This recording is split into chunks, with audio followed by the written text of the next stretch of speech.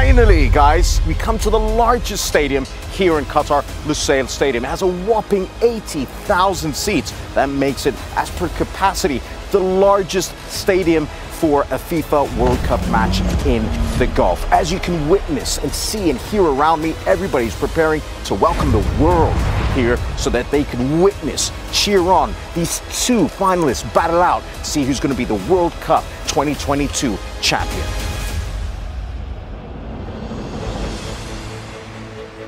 This stadium is so carefully constructed and very fitting for the finals of the FIFA World Cup Qatar 2022.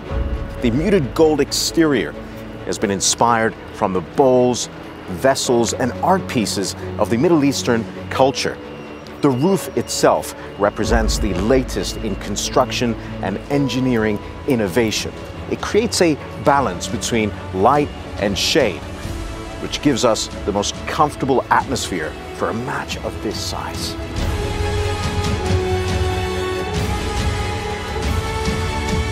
After the FIFA World Cup Qatar 2022 in this stadium, It'll feature some homes, some sporting shops, some health clinics, some food outlets. Also, the upper tier is going to be repurposed for terraces of new homes. It's all very exciting. And all these materials are going to make way for these changes will be repurposed in some way. Some will be preserved, but a lot of it will be donated to outside nations to help them with their sporting infrastructures. This place is going to be a rustling, bustling home and city of itself. It's all very exciting.